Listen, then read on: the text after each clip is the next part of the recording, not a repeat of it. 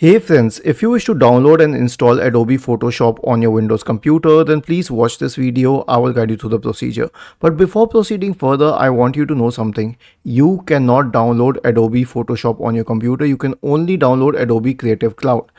And the best way to do so is through the Microsoft Store. I'll tell you later why. Open the Microsoft Store and search for Adobe Photoshop here. Click on Adobe Photoshop, the paid version and click on install. Now, why are we downloading it through the Microsoft Store? We are downloading it through the Microsoft Store because the version that we will download from the online one will also push in uh, Adobe PDF Reader and a lot of other antivirus software products like McAfee and all. I've tried that already.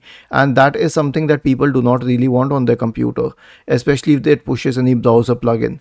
Now, the one that you download from here will be uh, the complete Adobe uh, Creative Cloud, even though it says Adobe Photoshop and it will have a free trial for seven days.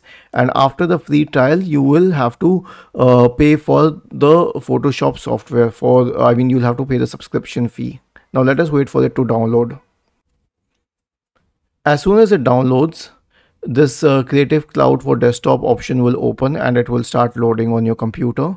And uh, once it loads it will give you an option to start a free trial or if you have already an account then it will allow you to log in. If you don't have an account then you will have to log in using your google account. But uh, you have to click on start free trial just like i did. And in the free trial you will be able to access all of these features. It's actually adobe photoshop itself. It's nothing different from that.